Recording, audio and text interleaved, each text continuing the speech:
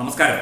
നമ്മൾ നേരത്തെ ഈ സ്വർണക്കടത്തും ഈ ഈന്തപ്പഴം വിതരണവും ഒക്കെയായി ബന്ധപ്പെട്ട് ചില മാഡങ്ങൾക്ക് അതായത് ചില സ്ത്രീകൾക്ക് ഈ ഒരു വിഷയത്തിലുള്ള പങ്ക് നമ്മൾ പരിശോധിച്ചിരുന്നു.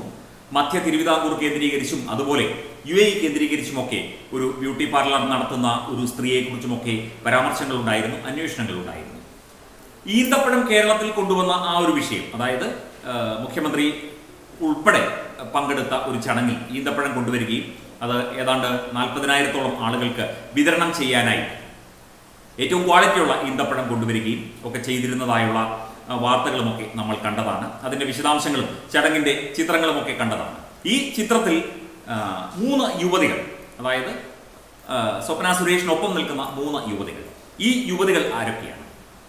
ഈ യുവതികളെ കേന്ദ്രീകരിച്ചും അന്വേഷണം ഇതാ തുടങ്ങിക്കഴിഞ്ഞു എന്നുള്ളതാണ് ഏറ്റവും പുതിയ റിപ്പോർട്ടുകൾ.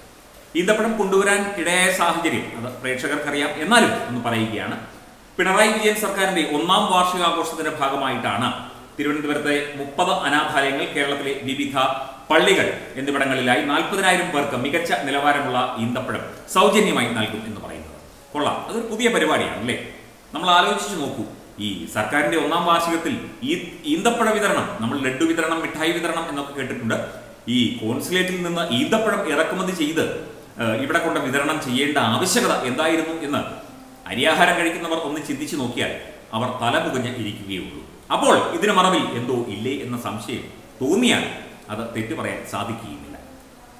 കേരള സർക്കാരിന്റെ പിന്തുണയോടെ നടപ്പാക്കിയ പദ്ധതിയുടെ ഉദ്ഘാടനം നടന്നത് രണ്ടായിരത്തി പതിനേഴ് മെയ് ഇരുപത്തിയേഴിന് സെക്രട്ടേറിയറ്റിൽ വെച്ചാണ് മുഖ്യമന്ത്രിയുടെ കോൺഫറൻസ് ഹാളിൽ പിണറായി വിജയൻ തന്നെയാണ് വിതരണോദ്ഘാടനം നിർവഹിച്ചത്. ഈ ചടങ്ങിൽ consul general Jamal Hussain Al Jabi അതുപോലെ നമ്മുടെ സ്വപ്ന സുരേഷ് എന്നിവർ അതിഥികളായി മുഖ്യമന്ത്രിക്കൊപ്പം വേദി പങ്കിട്ടു.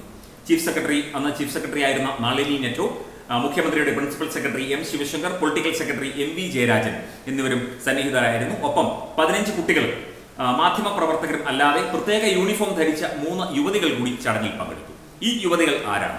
ഇവർ എന്തിനാണ് അവിടെ വന്നത്? ഇവർക്ക് യു എ കോൺസുലേറ്റും കേരള സർക്കാരുമായി എന്ത് ബന്ധം? ഇവർക്ക് സ്വപ്ന സുരേഷുമായി എന്ത് ബന്ധം? ഇവർക്ക് ഈന്തപ്പഴ വിതരണവുമായി എന്ത് ബന്ധം? ഇവർ എന്തിന് കേരളത്തിൽ വന്നു? ഇവർ ആരുടെ ഏജന്റുമാരാണ്? ഇവർ യു എ കോൺസുലേറ്റ് ചുമതലപ്പെടുത്തിയ ഉദ്യോഗസ്ഥരാണ്.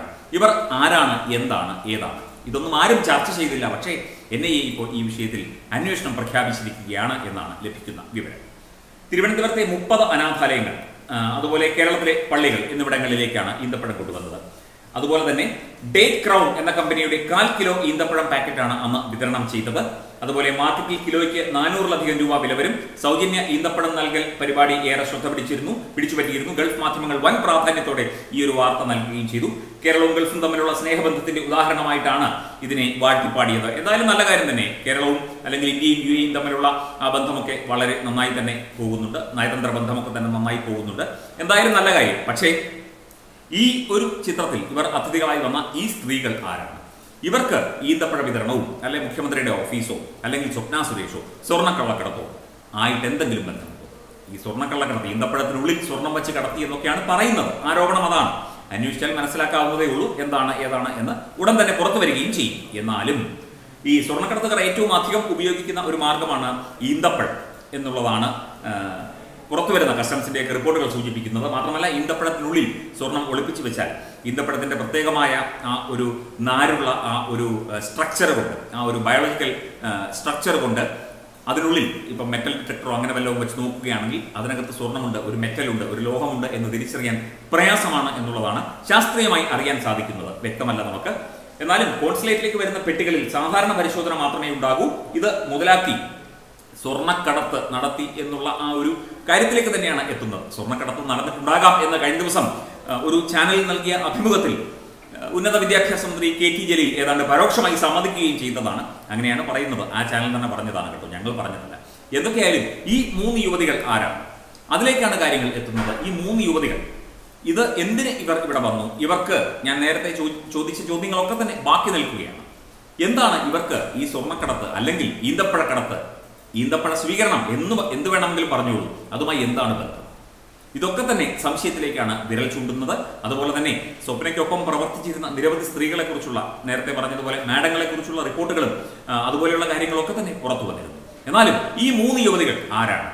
അന്വേഷിക്കണ്ടേ. ഈ മൂന്ന് പേർ എന്തിനു വന്നു? അന്വേഷിക്കണ്ടേ. കണ്ടെത്തണ്ടേ. എന്താണ് സംഭവം? ഈന്തപ്പഴം തന്നെയാണോ കടത്തിയത്? അതോ ഈന്തപ്പഴത്തിനുള്ളിൽ വേറെന്തെങ്കിലും ഉണ്ടായിരുന്നോ? അന്വേഷിക്കണം.